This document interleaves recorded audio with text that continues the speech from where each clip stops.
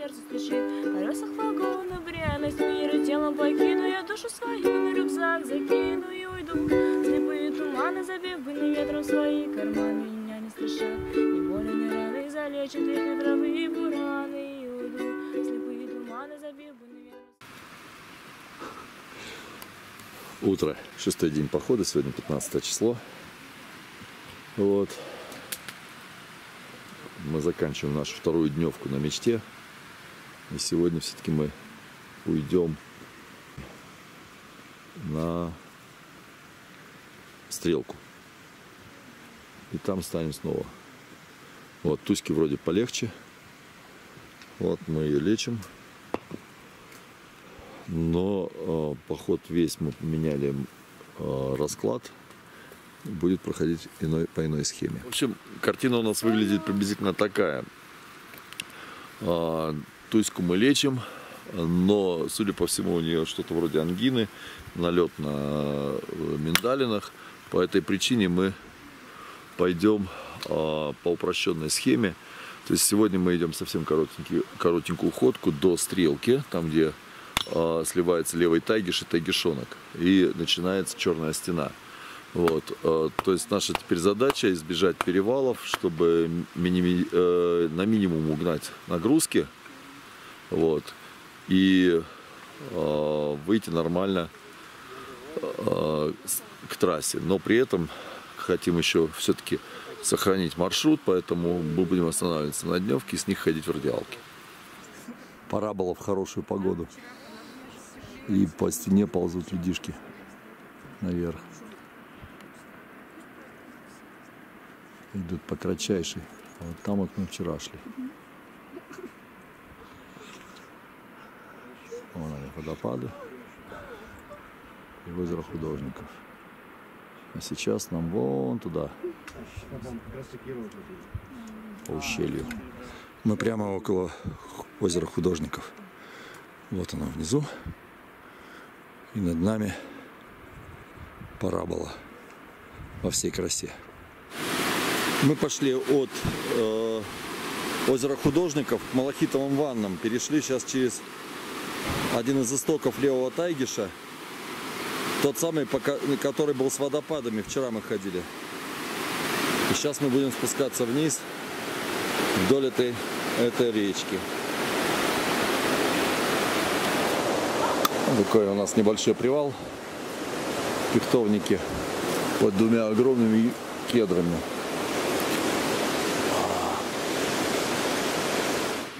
Спуск с плато озера художников в ущелье Левого Тайгиша довольно крутой, но идет по удобной тропе. Вполне безопасно. Где-то там, на противоположном конце этого ущелья, хребет Метугул Тайга, который был первоначальной целью нашего похода.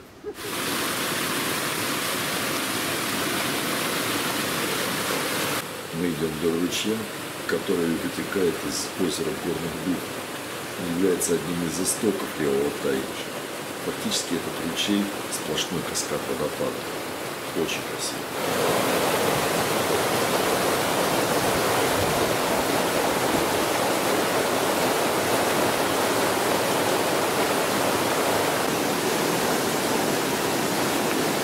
Офигеть!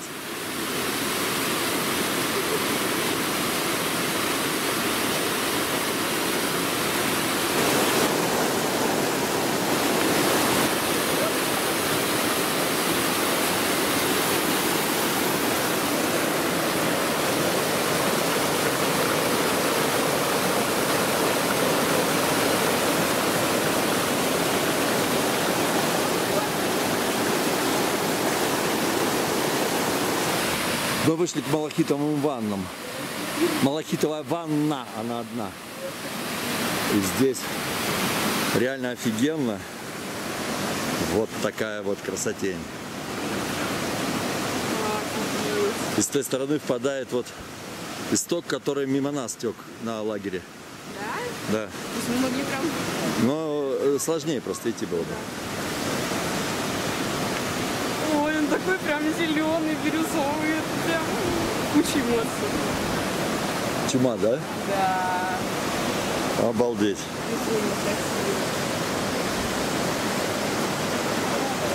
А, еще и горы.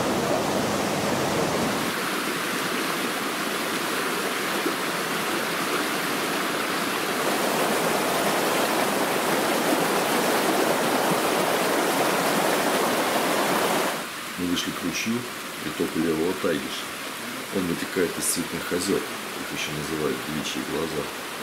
Вдоль этого ручья идет подъемная тропа на плато, откуда есть выход к перевалу Пикантный и к подножию стены зуба дракона. Вот там будет Тайгиш. Это боковой ручей. Мы вылезли на лавинный вынос. Зимой здесь идут лавины. И вот побили все деревья. Вот оттуда. Наверное, там набирается снег и сваливает. Сыпется сверху сюда. Перед нами левый Тайгиш. Этот маленький ручеек в вполне конкретную речку превратился. И над нами скала Тугадум.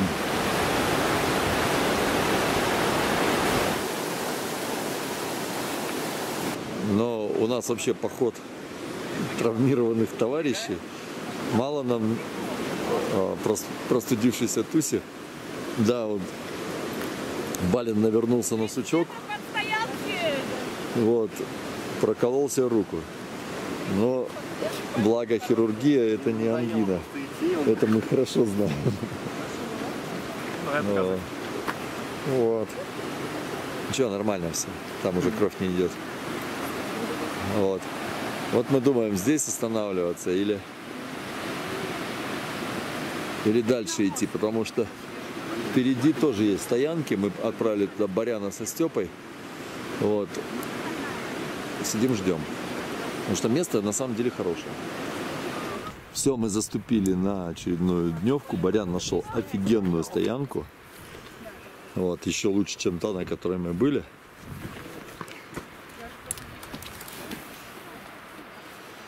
Сейчас мы здесь расположимся. О! И так как, и так всегда.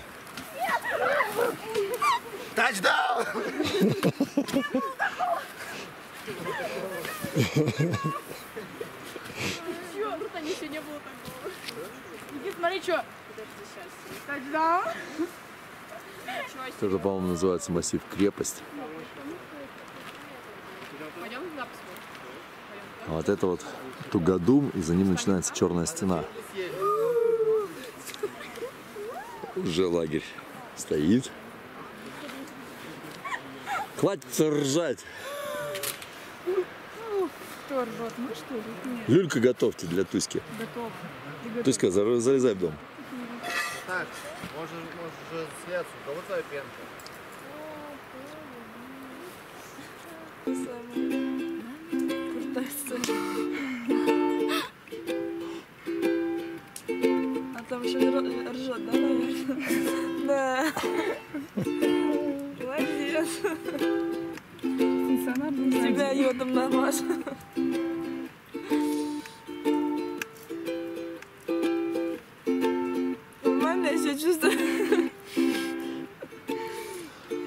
Радует, что ты говоришь. Я тоже. Хочу на повышенных тонах. Не кричи на меня.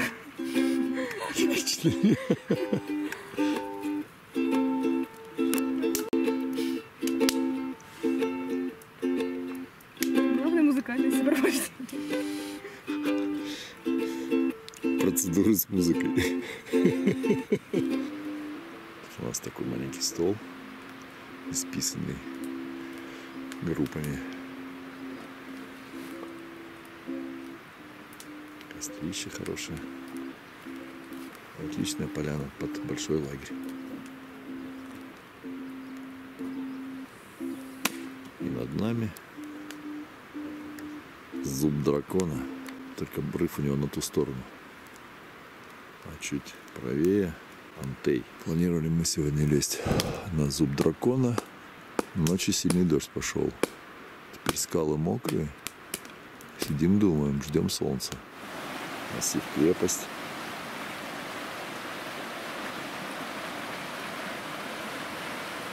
Левый тайгер.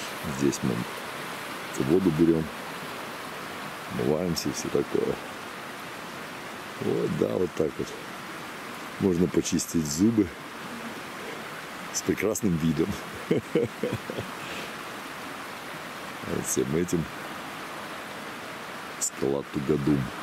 Вчерашнее солнышко испарилось. Сегодня весь день пасмурно. Периодически идет дождь, причем довольно продолжительный, потом опять сухо, вот как сейчас, допустим.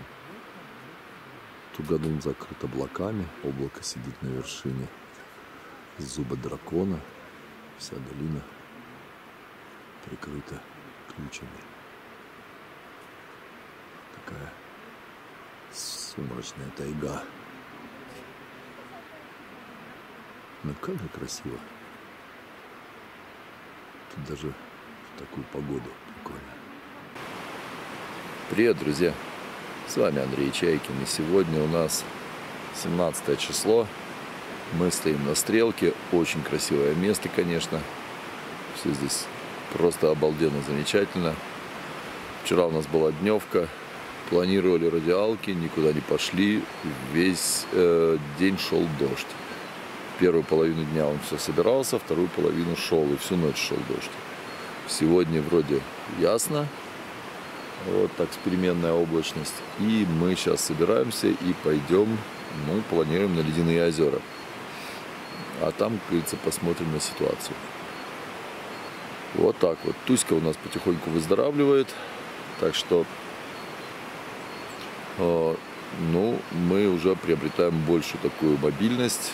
Можем э, ходить в радиалке, но все равно должны идти такими короткими перебежками короткими ходками, э, чтобы ее не перегружать. Вот так вот. Погода сегодня явно лучше. Дождь кончился, и вон какие-то просветы в облаках появились, и даже солнце вылезает э, периодически. В общем, это радует. Но пока народ собирается потихонечку, да, дежурные готовят завтрак, пробегусь-ка я по окрестностям, поснимаю, а то накануне дождь вообще ничего не дал сделать. Две скальные вершины. Тугодум и страж. Прикрытые облаком. Это вот южно-сибирская тайга.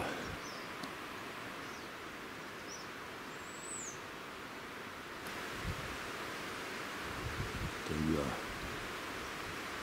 В основном пихтовники. Пихта с кетром.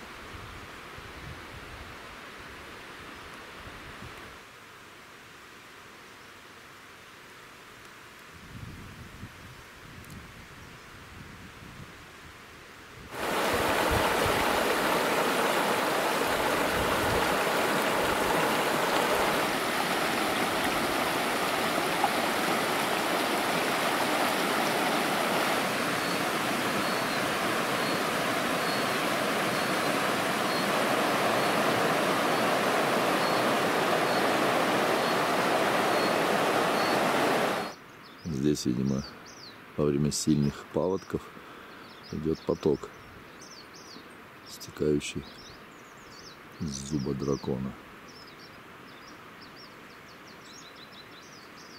Зуб дракона северный склон. А справа от него виден Антей.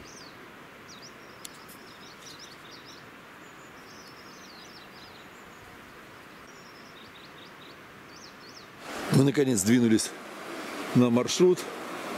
Вот вся наша команда. Мы идем на ледяную, на ледяную реку, ледяной ручей. А сейчас мы дошли вот, собственно, собственно, стрелка, там, где сливается левый тайгиш, который у нас слева, и тайгишонок, который справа. Подходят две реки, вот, сливаются, и теперь это уже полноценный левый тайгиш уходит.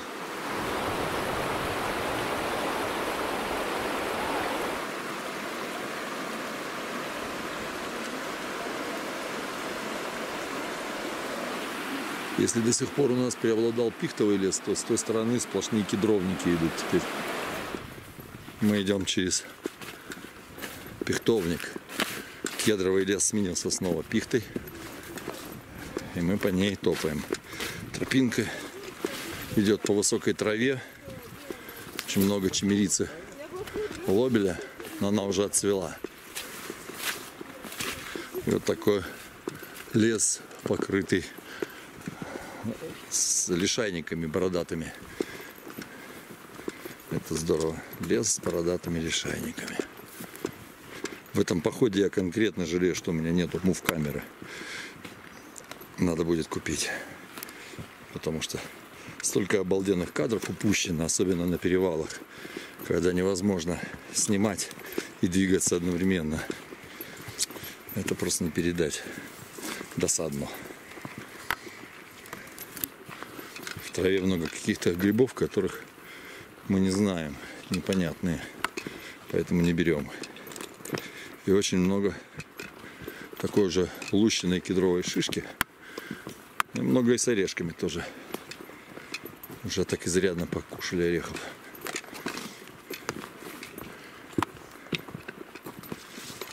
Я через дерево переваливаюсь сложнее, чем че- ой, через горы, блин. Блин, вода. И над нами массив крепость.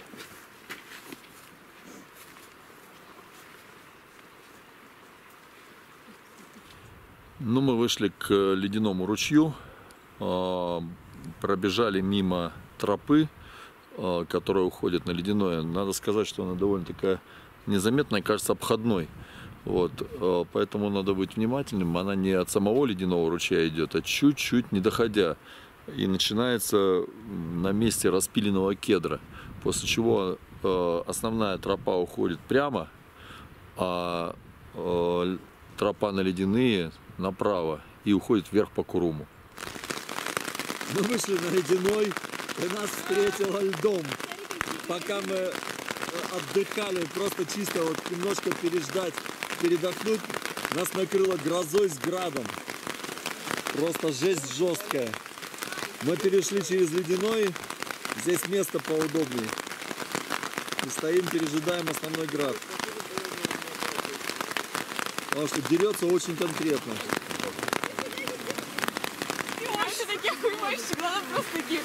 Поэтому вот те, кто говорит, типа, лучше жара, а не вы просто хотите, чтобы все передохли. Стоим и ждем, пока пройдет гроза, а мышек гонит в пругу. Как Чё обычно. это? В смысле пургу? Чё это, пургу? Ну Мыша рассуждает на предмет, что лучше жара или холод.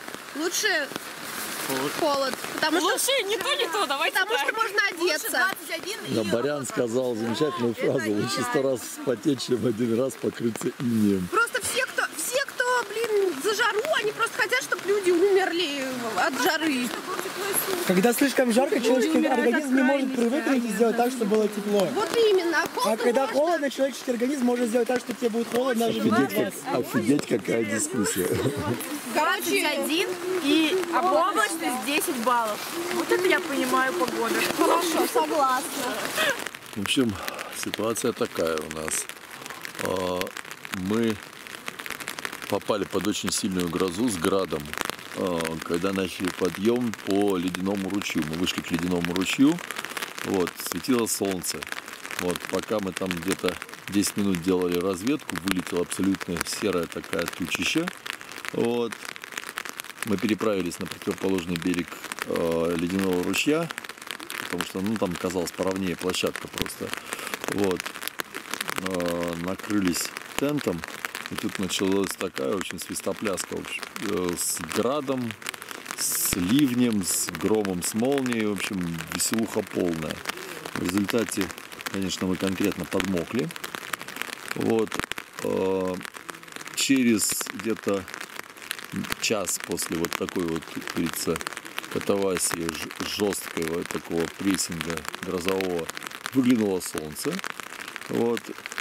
Но, как говорится, предлагал Барян продолжить там подъем, но я решил, что мокрые ноги у четырех человек, мокрые штаны практически у всех, вот, и не до конца у нас выздоровевшая Туся, это не, а, как говорится, позволяет нам начать такой вот, в общем, лихой кавалерийский наскок на ледяной. И мы отступили, отошли где-то метров 200 от ледяного ручья. Здесь у нас есть такой пятачок э, под небольшой лагерь, но мы все поместились. И сейчас мы здесь разворачиваемся. Опять пошел дождь, так что мы вовремя это сделали.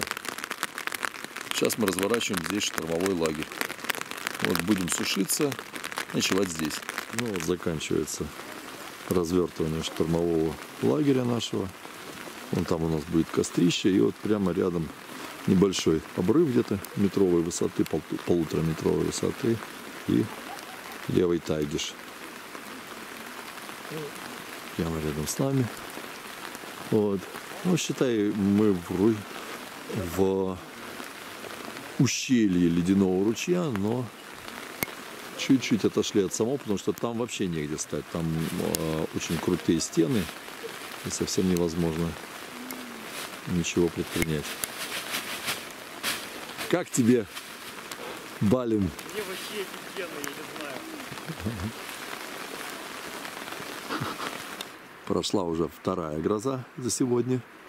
И такие низкое солнце заходит уже за горы, но вершины освещены. Очень красиво. Вот мы уже растянули тентик.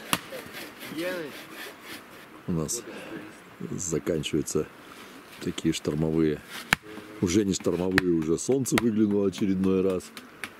Но надеяться на погоду нет никакой возможности. Хотя вот вершины даже какими-то последними лучиками солнца освещает. И небо синее. Но сегодня оно с утра тоже было синее, потом у нас накрыл град, потом опять было синее небо, и потом снова э, гроза пошла. Вовремя успели только вот до точки добежать, до стоянки. Так что мы тент повесили, поставили точнее. И сейчас костерок, ужин, все дела. Ну что ж, на этом мы опять прервем ненадолго наш рассказ о походе в Саяны. А вы подписывайтесь на наш канал, ставьте лайки, подписывайтесь на канал Владимира Чайкина, там тоже много интересного. И ходите в походы, это реально очень классно.